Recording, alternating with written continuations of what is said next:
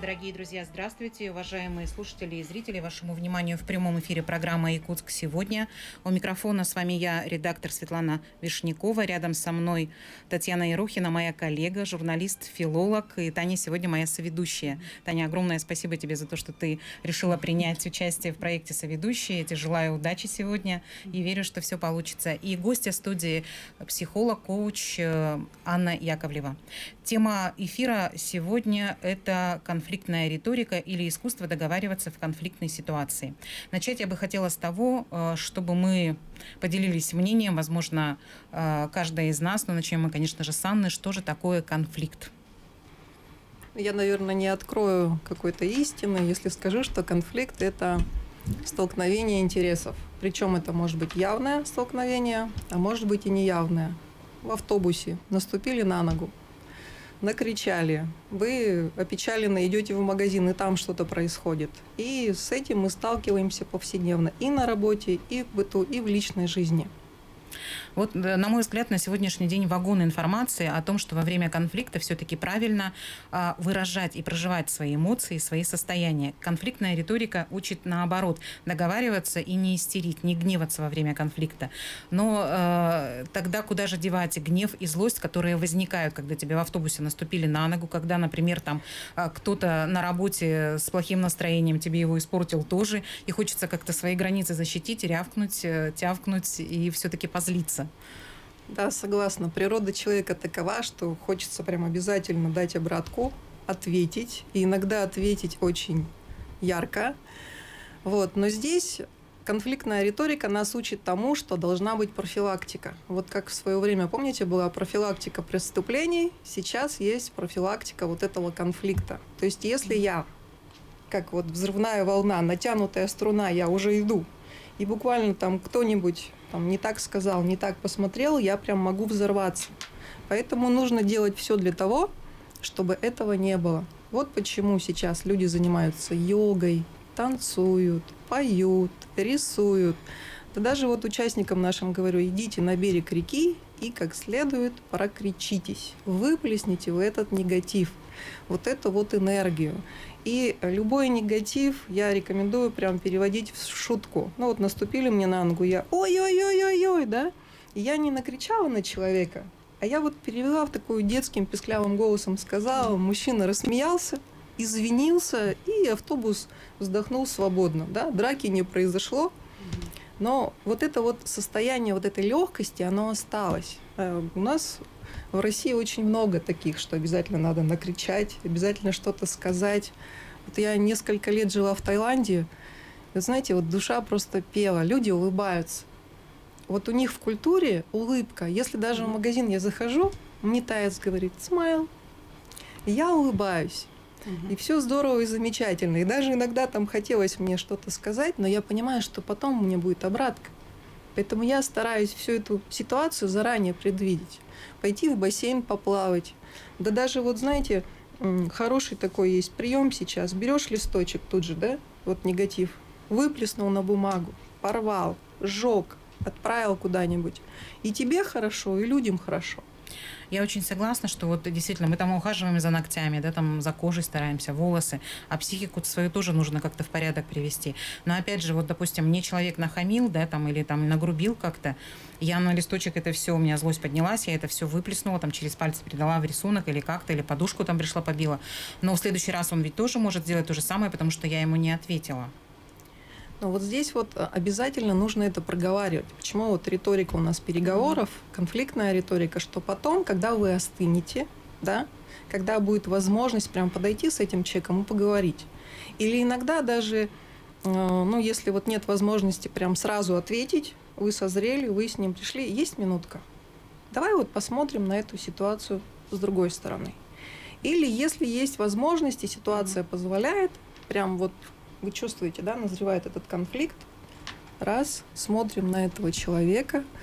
Есть такая психологическая штучка, считаем до 10, да, и начинаем спокойно с помощью вот волшебных слов, которым нам всегда учили. Благодарю тебя, там, по имени, отчеству обращаемся и говорить определенные слова или переводить вот этот негатив вопрос. Почему человек вот на взводе, да, скорее всего, это может быть агрессия или это может быть прессинг, да? Мгм. Сталкивались с такими понятиями? Агрессия, когда он просто на взводе, его кто-то завел, и он на вас сливает. Тогда буквально дв- два-три предложения, и человек уже нормально. Он начинает адекватно с тобой разговаривать. А если Мгм. прессинг, ну, вот знаете, токсичные люди, вот они прям кайфуют от того, что говорят какие-то гадости, вас заводит, заводит, заводит. И тогда нужно использовать их оружие. Но лучше всего использовать манипуляции. Вот этому мы обучаем. Отвечать им так же? Использовать манипуляции – это скрытые приемы, Мгм. которые вот тонко очень подмечают какие-то их вещи. Ну вот, например, также, да, там наступили на ногу в автобусе. Ну, человек не может сказать «ой-ой-ой, как я», да? Но для него это неприемлемо. Что можно в этот момент ответить?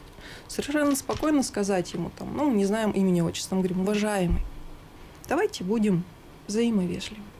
Давайте спокойно Встаньте с своей ноги. да, давайте спокойно эту ситуацию разрешим как Или вот знаете, сейчас вот тоже часто что-то стало ездить в автобусе, и вот специально, видимо, ищу свои кейсы для различных занятий. Люди идут, и они идут с рюкзаками, да? Ну, Вот когда человек с Мгм. рюкзаками, и очень часто что происходит? Друг друга начинают вот бить этими рюкзаками. Люди возмущаются, кричат, да? Вот нет у нас вот такой определенной культуры. И я вот сегодня прям, предвидя эту ситуацию, раз так руку положила и чувствую, что меня вот эта ситуация не заденет. Да? Я говорю, молодой человек, а вы не могли бы снять рюкзак? То есть здесь вот смотрите конфликт. Человек кричит, да, человек использует там жесты, да, вот э, агрессию вот эту. Что нужно делать? Нужно делать все наоборот.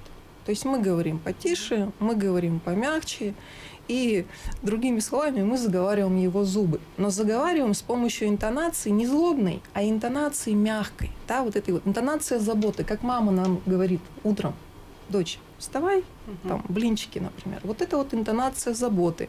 Может быть, интонация интереса или интонация любопытства. Сейчас подумала, у кого-то мама была другая. За волосы, скорее вставай. Я с вами очень согласна. Вот те примеры, которые вы рассказывали, я была и с той, и с другой стороны, и вы очень правильно сказали, я была как раз-таки агрессором, с человеком в конфликте. И я прям успокоиться не могла, мне прям вот гнев, гнев, гнев шел. Тот человек оказался мудрее, он выждал, пока я прозлюсь, дал какое-то время, договорился со мной о встрече и пришел и просто задал мне вопрос, что происходит. Все, я, мне, во-первых, стало очень стыдно от того, что я вот настолько могла гневаться, и я вот до сих пор очень благодарна этому человеку, и при каком-то удобном случае я всегда внутренне благодарю его. И я за то все-таки, чтобы научиться вот как-то по-другому, не злиться, да, но мне кажется, что это вот какой-то нужно внутренний настрой приобрести, да, потому что уверенность же очень много значит, да, вот и, и как раз-таки вопрос один был э, от слушателей, от зрителей наших, когда мы перед эфиром с Татьяной готовились, что как обрести эту уверенность, когда ты можешь вот оставаться спокойным, то есть ты не специально там вот включаешь в памяти, вот нужно вот так и так сделать, а у тебя это изнутри идет, что я могу вот видеть мир таким спокойным и в нем тоже вот так вот гармонично сосуществовать. Учат ли курсы, вопрос какой был, учат ли курсы по конфликтной риторике обретению этой уверенности? Вот. Да, спасибо. Интересный вопрос. Я вот почему-то, когда вы заговорили, я продумала про самооценку. Да? Скорее всего, если человек вот на это реагирует, вот у него вот есть какие-то определенные проблемы с его ценностью. Он не понимает ценность себя. На курсах мы не говорим о самооценке, а мы учим именно использовать приемы для того, чтобы расставлять собственные границы. А что касается самооценки, здесь должен быть какой-то комплекс приемов. Это и разговор и работа с психологом, это чтение книг. И самое главное, у человека должны быть какие-то жизненные ориентиры. Вы помните, раньше нас учили ценности, да? Мгм. Это любовь к себе, любовь к окружающему миру, это уважение обязательно. Вот. И здесь, когда человек приходит, и мы обращаем внимание на его какие-то определенные личностные качества, то самооценка больше задействована на курсах по риторике. Это другие немножко тренинги, да, это ораторский курс, вот где идет работа прямо над собой и над своей ценностью. Когда человек понимает, что вау, сколько у него сильных сторон-то оказывается, а он этого не понимал раньше. И он начинает над этими сторонами работать и раскручивать уже слабые стороны. У меня еще есть вопрос. Недавно у меня была такая ситуация, когда а, прошло некое общение с человеком, но человек остался недоволен, и вот он с, с агрессией с какой-то мне сказал об этом, фыркнул там как-то еще. То есть я вот почувствовала прям вот эту вот энергию вот этой агрессии, и у меня какое-то здесь волнение, что я не ожидала, мне казалось, что все хорошо, и мы не поругались, я действительно очень как-то мягко поговорила, потому что мне не входило в планы вообще выяснять отношения. Но тем не менее, как будто бы конфликт с этим человеком, он остался во мне. То есть мне не хочется подходить и спрашивать, что случилось, человек ушел, вот, ну он так воспринял, почему должна, я ничего не сделала плохого, почему я должна что-то объяснять, мне так кажется. Но вот эта вот ситуация, она осталась неразрешенной. И вот эти вот мои чувства, мне кажется, я их тоже вот как-то подавила, вот этот вот э, гнев какой-то, ну, как будто бы несправедливо. Э, в мой адрес что-то сказали? Ну, в психологии это называется гештальт. Это непроработанное состояние, которое вас постоянно накрывает и энергию забирает. Угу. Все-таки хотелось бы, чтобы вы поговорили с этим человеком. И если есть возможность, ну, например, какой-то вот этот фырк. Да? А если мне не хочется этого делать, я с ним никак не соприкасаюсь, это был какой-то вот разовый какой-то разговор, и все. То есть мне не хочется с этим человеком общаться и выяснять отношения все равно нужно идти и выяснить. Нет, не обязательно. Существует еще такая вещь, как э, дневник благодарности и анализ ситуации, которая произошла. Ну, например, вот вы чувствуете все-таки какой-то вот этот вот э, диссонанс да, внутренний, и вы садитесь и вы думаете, так, отлично, чему учит меня эта ситуация, да? Вот я тогда не проговорила. Что нужно делать в следующий раз, чтобы такого, например, не случилось? И мысленно я благодарю там этого Ивана, Алексея, Марину за то, что она меня научила этому. Да? И многие поэтому, когда нет возможности с человеком поговорить, да и не хочется, да, они просто записывают это в дневник благодарности. Я благодарю Вселенную, я благодарю людей, которые вокруг меня, которые учат нас взаимодействовать. Ведь каждый наш социум – это школа, это детский сад, это институт, они постоянно нас чему-то учат. И многие вот реагируют, а почему мне попадаются эти люди, да? Почему вот что там происходит? А скорее всего, они не просто попадаются, а люди-то попадаются, потому что ты сам такой внутри. То есть внутри какой-то ежик сидит. Значит, нужно поработать с собой. Я, кстати, благодарю вас за рекомендацию вести такой дневник. Я начала такой дневник вести и очень хорошо себя чувствую. Каждый вечер сажусь и пишу, за что я благодарна, что сегодня произошло, какая ситуация, и понимаю, для чего это со мной произошло. А я прямо сейчас поняла, для чего мне нужен был этот конфликт, вот, который состоялся, хотя это было уже, наверное, месяца полтора назад. Поэтому, Анна, спасибо. Я с удовольствием продолжу э, разговор с вами. И Татьяна, я думаю, присоединится во втором блоке активнее. Буквально через две минуты. Слушатели и зрители, не теряйте нас. Вернемся.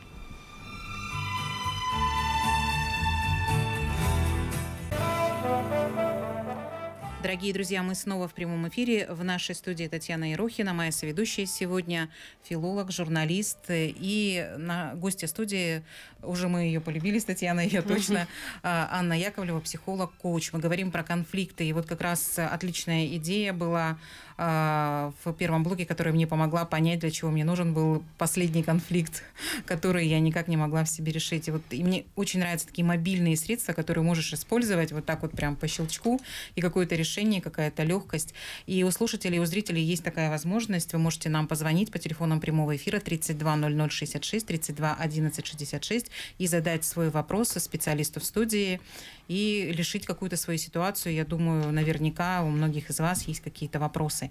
Присоединяйтесь к нашему эфиру. А до эфира мы с Татьяной уже собрали вопросы от наших потенциальных слушателей и зрителей, и Татьяна их, я думаю, сейчас угу. сможет озвучить. Ну вот есть один вопрос. Да, слушатель спрашивает, э, вот во время публичного выступления, когда волнуешься, да, э, один из э, слушателей в зале, например, начинает что-то выкрикивать и перетягивает таким образом фокус внимания на себя. Твоя речь, соответственно, как бы э, уже под угрозой. И вот как в этом случае поступать с таким вот, как бы, можно сказать, вредным слушателем?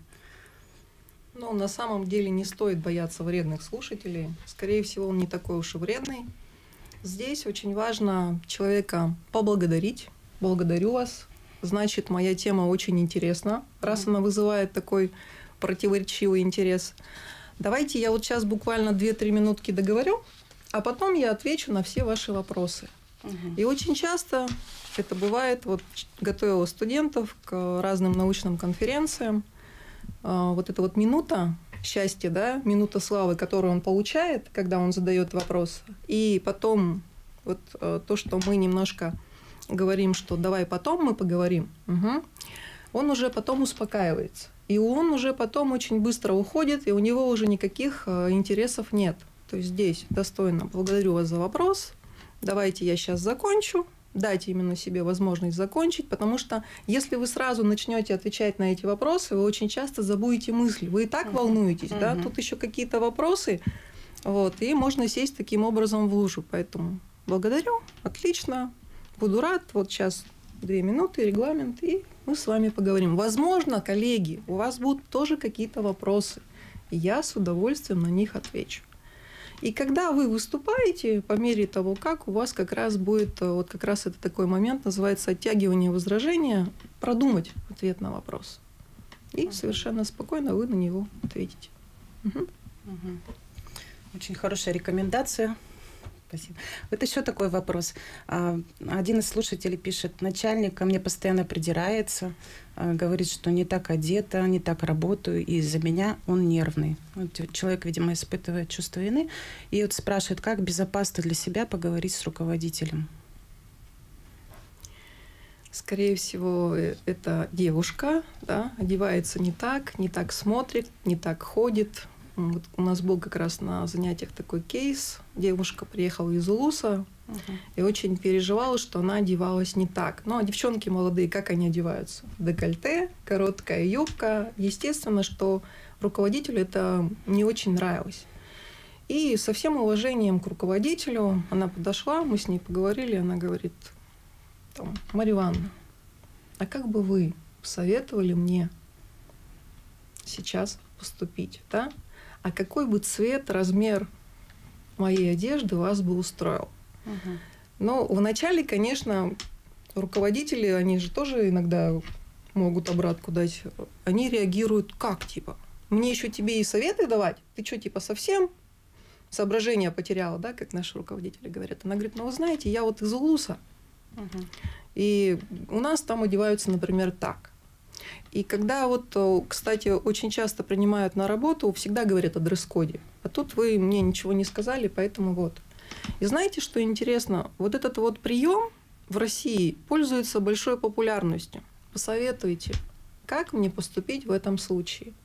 Посоветуйте, как мне изменить ваши отношения ко мне. Да? То есть вот у нас страна советов, уже более сколько там, 60 лет она была, угу. И вполне спокойно люди к этому относятся. Главное здесь говорить искренне.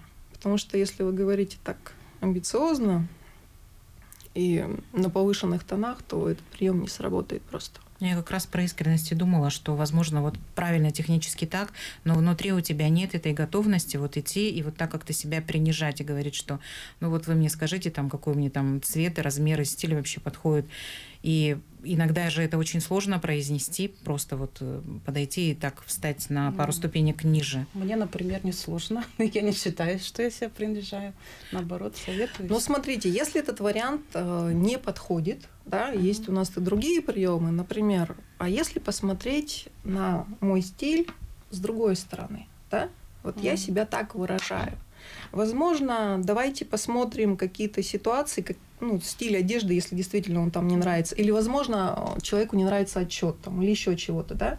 Давайте посмотрим на эту ситуацию по-другому. Давайте разберем детали. Давайте вместе согласуем, без проблем. Да? Я открыт для диалога. И вот этот прием давайте или предлагаю, это лидерский прием. В любой ситуации он тоже очень хорошо помогает. Главное действительно спокойно об этом говорить не вызывая гнев человека. У нас была такая ситуация на одной работе. Девушка спрашивала совета у начальницы, и та и советовала. Но, видимо, совет не подходил, и девушка, приходя на работу, переодевалась совсем в другую одежду. Уходя на работу, тоже переодевалась. И вот так вот. Ну, это, конечно, все-таки вот внутренний, какой-то нужен внутренний настрой, потому да, что а, вот если нужно на этой работе остаться, да, да, и тебе нужно зарабатывать деньги, других вариантов нет, конечно, ты где-то, может, себя там сломаешь, пока технически это сделаешь. Возможно, потом обретешь некий навык, вот такой вот э, умение договариваться, идти навстречу другому человеку, даже если он вот как-то настроен не очень хорошо. Но директор же тоже может сказать, что решай там сам или там Э, вот просто не нравится и все. То есть может закрыть э, и не общаться, и не захотеть общаться. И сказать, я не стилист, в чем дело. Хорошо, я вас поняла. Не роняя достоинства, ответить этому человеку. Ситуации бывают разные. И здесь вот конкретно мы оперируем теми приемами, которые согласуются с ценностями. Ну, например, человек, э, он же как-то проявляет себя. Вы же своего начальника же тоже видите ну хотя бы там первые три дня какие-то вы видите его потребности, mm-hmm. да, а, его слова, что он использует. Поэтому в зависимости от того, какой человек, мы используем определенный прием. Например, а, человек что-то не нравится, мы не знаем, как ему там что-то возразить, и мы говорим просто, а не могли бы вы как-нибудь вот помягче это сказать, да? А не могли бы вы как-нибудь поконкретнее сказать, да? А то человек заходит и говорит, ну что ты вечно ходишь там непонятно в чем, а тут же не видно, чему он придирается? К юбке, там, к декольте. Может быть, он э, придирается там, к макияжу там, или еще что-то. Ну, ну что ты опять напортачила? Где напортачила? У человека много документации, да? Угу. Давайте вот посмотрим последние наши проекты. Да? Что мне сделать, чтобы вы изменили свое мнение обо мне?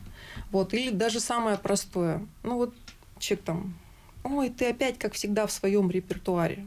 Ну, вы действительно так думаете? Или у вас там что-то случилось? Или, например, есть такой прием, э, называется отвлечение на бытовую надобность. Да? Вот когда вы в ситуации не знаете, что ответить, можно, например, чихать. Да? Человек вам что-то говорит, он в гневе, значит, а его нужно немножечко остепенить. А не будешь же ты ему там сейчас что-то песни какие-то петь, и ты «Ачхи! Ачхи!» Помните, мультик был про ослика и А? И там Винни-Пух приходит к сове и что-то там ей, значит, говорит. Сова очень мудрая женщина? Угу. И она начинает чихать. И через какое-то время Винни-Пух уже соображает и говорит уже помедленнее, и уже уходит от нее.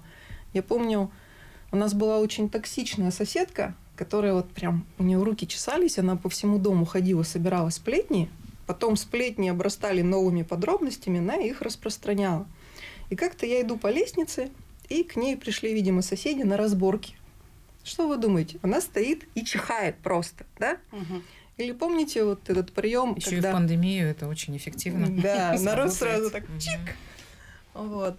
Народ сразу так уходит от нее. Вот. Или, например, как фрекенбок. Ой, а у меня молоко убежало, да? Ой, а мне людей надо отпустить. Ой, там листочки уронили. То есть там, уход от конфликта. Ручку уронил, да. И у тебя будет буквально 2-3 минутки, чтобы собраться в кучу и потом подойти уже проговорить эту ситуацию. То есть существуют определенные хитрости, определенные лазейки. Угу. Скажите, общем... Анна, вот э, к вопросу о дистанцировании да, и угу. начальстве. А можно, допустим, когда начальник кричит, некоторые психологи, я читала, советуют в этот момент ему сказать, например, я не буду с вами разговаривать, пока вы кричите, и выйти из комнаты, ну, из офиса, да, пока он, ну, таким образом дать ему понять, что, ну, успокоится. Или наоборот, я вот этим спровоцирую больше гнев.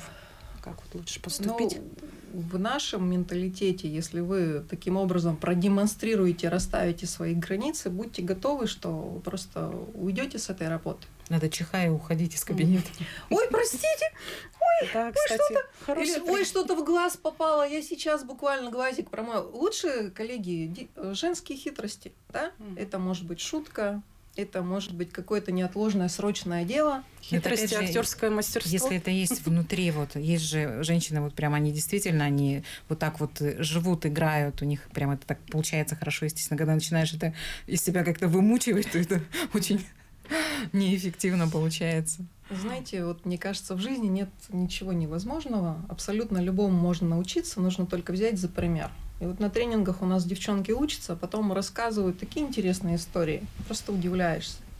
Действительно. Ну, да. Вначале, да, это как-то неприемлемо. Но если ты действительно пришел на работу, а там прессуют тебя, потому что, например, место предполагалось для другого человека, а тут ты такой красивый нарисовался. Получите, распишитесь. И начинается то, все. А потом, когда видят что ты человек, в принципе, хороший, ответственный, ты еще и границы умеешь расставлять. Я помню, как-то пришла я на новую работу, и тут на меня, значит, повесили там обязанности. Ну, и я, значит, смотрю, там вот это надо, вот это надо. Я сижу, киваю. Да, я совсем соглашаюсь. Ну, потом, когда вот люди ушли все, я открываю свою должностную инструкцию, начинаю изучать. Мгм. И потом подхожу к руководителю и говорю, вы знаете, я с большим удовольствием согласна на все вот эти пункты, которые вы мне говорите, но посмотрите, вот тут с такого по такой-то у меня в должностной инструкции нет. Я с удовольствием это буду делать, а За вы, дополнительную оплату. да, а вы можете мне за это доплатить. Я буду очень рада. Я человек ответственный, я человек серьезный. Вы бы видели лицо этого руководителя. Ну, это же не предусмотрено. Я говорю, ну, у меня вот тоже не предусмотрено. Давайте как-то найдем выход из этой ситуации. И он сразу такой, ну, вот у нас есть, кто это сделает. То есть есть люди, на которых сели и поехали. И этим человеком может оказаться вы. Но если вы не хотите быть этим человеком, на которого сели, свесили ножки, учитесь, говорите, используйте слова, выражения. Мы продолжим учиться э, тому, как избегать конфликта или как в них вообще не попадать. Буквально через две минуты короткая реклама. Скоро вернемся.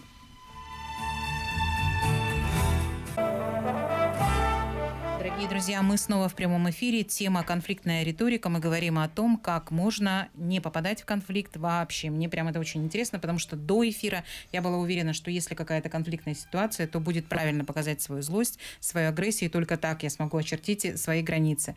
Оказывается, можно и даже их не очерчивать, потому что можно в эту историю не попасть. А я вообще думала, что я лучше промолчать.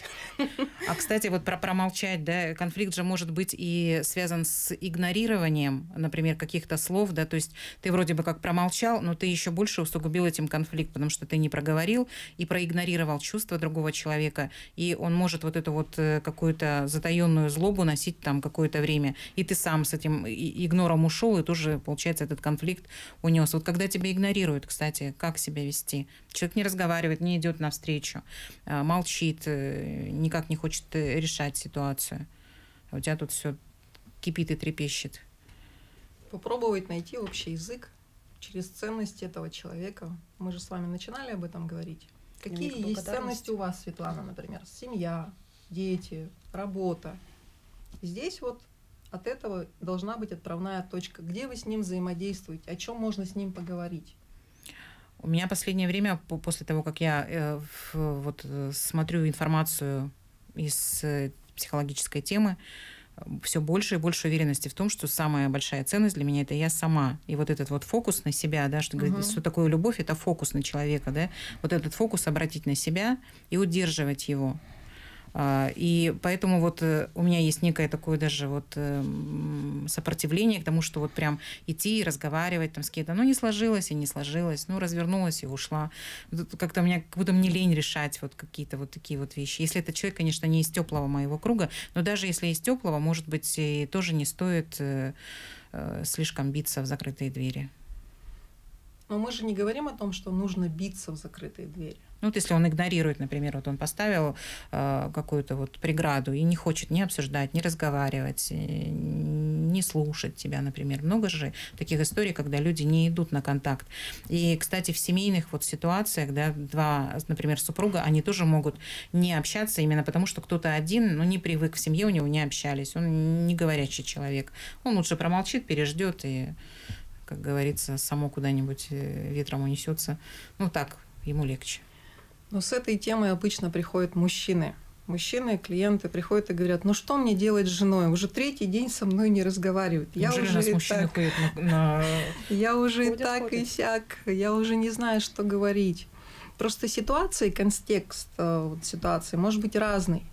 Все зависит от цели взаимодействия, все зависит от моих правил и принципов. Если, например, я знаю, что мне хорошо, вот как вы говорите, да, у меня есть определенные принципы. Я здесь границы не нарушал. Я здесь ничего такого не совершал. Человек дуется. Ну, дуется и дуется. Мне с ним дальше там детей не крестить. Совершенно спокойно. Вселенная, я могу вас поблагодарить за этого человека, что он был в моей жизни. Возможно, он чего-то недопонял, чего-то недоговорил. Захочет человек, он сам придет и с вами поговорит, и вы уже тогда расставите все точки над «и». Нет, нет. Но вот что делать мужчине с женой? Вот на эту ситуацию очень много ответов. Я, например, всегда советую, если накосячили, да, добросовестно подойти, покаяться, извиниться. И обычно вторая эта сторона, она же тоже не знает, как найти точки соприкосновения. Мы же гордые все. Сейчас столько информации, даже вот про то, что прости, да, прости меня, ты накосячил, еще требуешь какой-то энергии, еще требуешь энергии прощения. То есть прости меня, еще сделай какое-то действие в мою сторону. И кто-то говорит, что вообще просить прощения не надо. Иногда тогда ты назначаешь того человека Богом, сам опускаешься ниже. Лучше скажи мне жаль, а лучше вообще ничего не говори, сделай что-то хорошее или спроси, что ты хочешь. Сейчас столько всего, всех вариантов, что, в принципе, можно запутаться и заблудиться в том, как на самом деле лучше-то поступить. Поэтому я и говорю, это все зависит от вашего внутреннего я. Вот если я, например, себе позволяю, вот с мужем как-то поссорились, поссорились, да, и я подхожу всегда первая. Виновата, не виновата, я подхожу, потому что человек должен быть, вот вы сказали, мудрее. Кто-то должен быть в этой ситуации мудрее. Если я мудрее, мне это вернется. Если он мудрее, ему это вернется.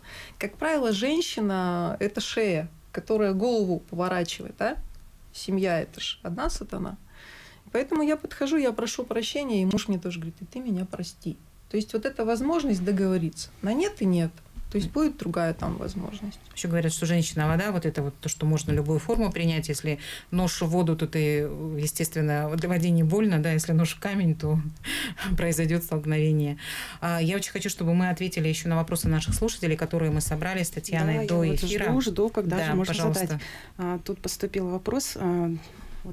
Насчет подростков, да, подростки угу. любят а, говорить, ты мне никогда не веришь, а вот родители моего друга, и как вот с ними разговаривать, и как вообще вести себя в пик спора с подростком, лучше промолчать или гнуть свою линию.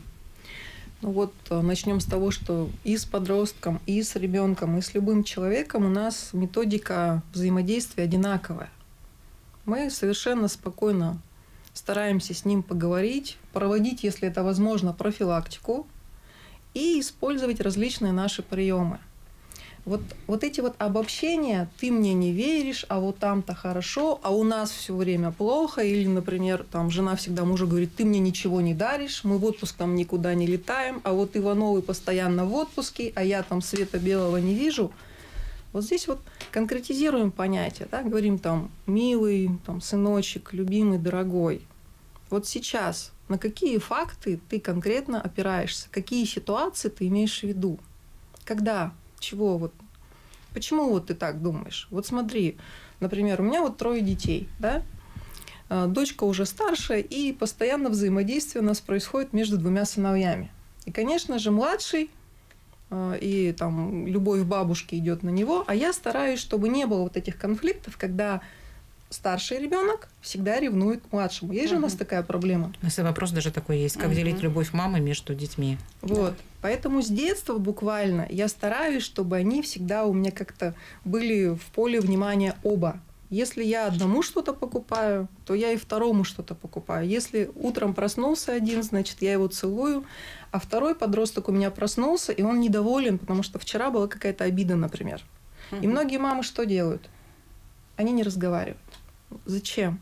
Зачем вот снежный ком вот этот вот нарастать? Иди сюда, смеемся, обнимаемся, шутим. И стараюсь с каждым ребенком прям именно проговаривать ситуацию. Да, вот. И почему возникает вот этот снежный ком? Потому что родители сейчас, вот, э, дети сейчас, они все сидят в этих телефонах, в этих гаджетах, они даже не разговаривают. Вот недавно по WhatsApp смотрели, ходил такой ролик, где родители там сидят через WhatsApp. Что будешь там, крылышко там или салат там, там или еще что-то. За общим столом. Да, за общим столом уже. Ну, вот утрировано, но реально это так. А тут вот родители приходят, я говорю, вы с ребенком общаетесь? Ну да, вот он со школы пришел, я у него спросила, как дела? Как дела это? Закрытый вопрос. То есть вы вообще не проявляете внимания к ребенку. И ребенок это чувствует. А если, например, э, вот устраивать какие-то традиции, обычаи вечером, например, вечер воспоминаний, а давай вспомним. Слушай, а я вот в школе, например, я вот сыну недавно говорю, там физику, например. И вот я не любила физику, ну не любила, а у него хорошо она получается. Я прям его хвалю, от души хвалю. У младшего что-то получается, я его тоже хвалю. И даже смотрите, день рождения, например, день рождения старшего, мы старшему, конечно, дарим большой подарок, а младший он же видите, и младшему какой-то сюрпризик. Когда у младшего день рождения, ему подарок и тому что-то. И вот каждый раз стараешься вот их взаимодействие, чтобы оно было вровень и говорить «мой хороший», «мой дорогой», «мой любимый». И говорить какие-то сильные комплименты, которые вот искренние, от души они идут. Но обязательно обращать внимание на то, что можно вот доработать. И не сравнивать никогда вот с другими. Вот это mm-hmm. вот ошибка большая. Потому что человек обижается. Я помню, как-то у меня прям кейс свой родной такой. Я прихожу к ребенку, значит, а ребенок у меня вот физику он сдал, и он сдал на четверку там. И я вижу там, мальчишку, а мальчишка там мне показывает там его друг. У меня пятерка. И я такая, Миш, у Васи-то пятерка? Вы бы видели лицо. Проверка кейса называется, да? И что? Да? То есть все. Для ребенка вот это оскорбление. Сравниваем с ним. Слушай, а помнишь, какой ты маленький был? А посмотри, какой ты сейчас, да? И вот он же растет, он же развивается, что хорошего в нем. Родители такие вещи же не говорят. Угу. И они упускают своих детей. А потом начинаются вот эти подростковые проблемы. Тем более, что вот подростковые же проблемы. Вау, да, вот эти вот крик, вот эти гормоны. И мама такая, как, типа, мой ребенок на меня кричит. Я говорю, ну у него гормоны, понимаете? Вот вы были беременны? Да. Ну, у вас же были гормональные вот эти вот вещи-то? Тоже там беременные же и плачут, там и смеются, и все. Да. Ну вот, а у ребенка тоже гормоны. Вот этот юношеский максимализм, этот период идентификации, когда ему нужно себя зарекомендовать. Поэтому-то он и рвется вот на должность вот отца, например, да. Uh-huh. Поэтому он и чувствует, что вот он там главный в семье, он руководит. Поэтому мама должна говорить, ну, что ты рисковато как-то с младшим. Давай вот нормально поговорим с ним. Да, я понимаю, ты помогаешь мне, я тебе благодарна, ты молодец. Но семья-то, она держится именно вот на взаимодействии, на хорошем. А то я прям иду домой и думаю, а вдруг вы опять поругались. И конкретные примеры вот эти решать. Интонация, забота, интереса, любопытство, разговоры. Удивительно, я... что вы отвечаете на вопросы, которые мы еще не задали, но они у нас да, были. Да, Там да. как раз был вопрос, как, что делать, когда старший ребенок пытается занять место э, отца. Просто это вот мой личный кейс, да, вот у меня между детьми 8 лет разницы. Одному сейчас 6, одному сейчас 15. И вот я реально ну, обращала внимание, да, как работать с такими детьми. И потом подростки, это вот мой любимый возраст. Я веду еще детские тренинги, юный оратор. Я прям балдею, когда ко мне приходят подростки. Вот э, я перед ними открываюсь, да, и они передо мной открываются.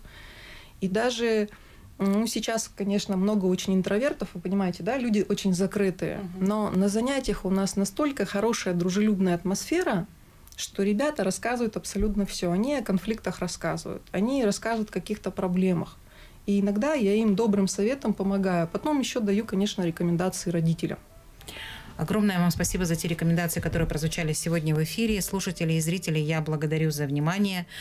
Татьяна Ерохина сегодня была в эфире, Анна Яковлева. И у Тани сегодня дебют, и я надеюсь, что мы еще продолжим обязательно в новом сезоне. Всем хорошего вечера и всем э, изучать конфликтную риторику, потому что я думаю, что это необходимо каждому из нас. Удачи. Спасибо. Спасибо.